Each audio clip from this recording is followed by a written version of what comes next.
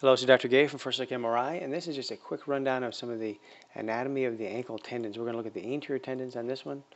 And so here we go. This is a uh, axial T1 weighted sequence of the foot, and we're looking at the three anterior tendons. So one, two, three in the front. We have two over here on the outside, peroneus.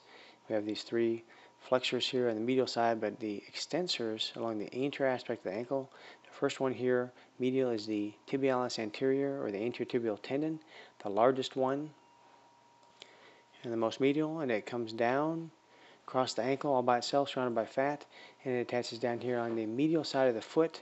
It has a variable attachment. Most of it attaches here on the first cuneiform, and some fibers also attach typically to the base of the first metatarsal bone.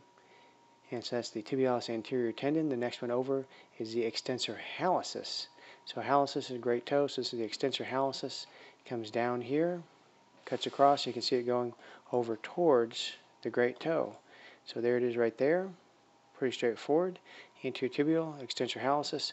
Then the last bunch over here, this is the extensor digitorum. These are the tendons that go to all the other toes. There's a broad band here, all the tendons together. Now underneath this, we're going to see the extensor digitorum brevis, this muscle underneath here. This also will turn into tendons that go to the toes, but these are the extensor digitorum tendons over the top.